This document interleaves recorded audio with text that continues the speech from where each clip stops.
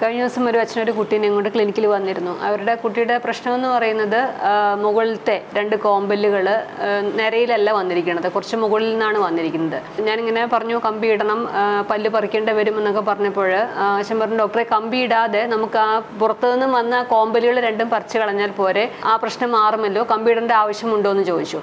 അപ്പോൾ അതിൽ നിങ്ങൾ മനസ്സിലാക്കേണ്ട ഒരു കാര്യം എന്ന് പറഞ്ഞാൽ നമ്മൾ കോമ്പൽ അതായത് നമ്മുടെ ഫ്രണ്ടിലത്തെ ആറ് പല്ലുകളാണ് നമ്മളുടെ ചിരി ചിരിയുടെ ഒരു ഭംഗി നിർണയിക്കുന്നത് പ്രത്യേകിച്ച് കോമ്പൽ അല്ലെങ്കിൽ നമ്മൾ കോർണർ ടൂത്ത് എന്ന് പറയുന്ന പല്ലിന് നമ്മളുടെ വായിക്കകത്ത് വളരെയധികം സ്ഥാനമുണ്ട്.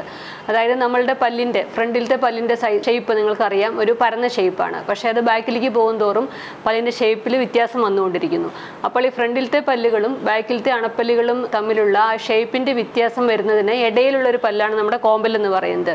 അതായത് കോമ്പലിൽ ഫ്രണ്ടിലത്തെ പല്ല് പോലെ കംപ്ലീറ്റ് ആയിട്ട് പരന്നതുമല്ല. എന്നാൽ നമ്മളുടെ ബാക്കിലത്തെ പല്ല് പോലെ കൂർത്തതുമല്ല. പക്ഷേ ഇതിന്റെ ഇടയിലുള്ള ഒരു ഷേപ്പാണ് കോമ്പലിനുള്ളത്. അതെന്തുകൊണ്ടാണെന്ന് ചോദിച്ചു കഴിഞ്ഞാൽ ആ പല്ലിന്റെ ആ ഷേപ്പ് മാറി വരുന്നത് ഗ്രാജുവലായിട്ട് വന്നില്ലെങ്കിൽ നമുക്കത് ചിരിക്കുമ്പോൾ വളരെ അഭംഗിയായിട്ട് തോന്നും. അപ്പോൾ ആ ഒരു കാരണം കൊണ്ടാണ് കോമ്പലിന് ആ പ്രത്യേകമായുള്ള ഒരു ഷേപ്പ് ഉള്ളത്.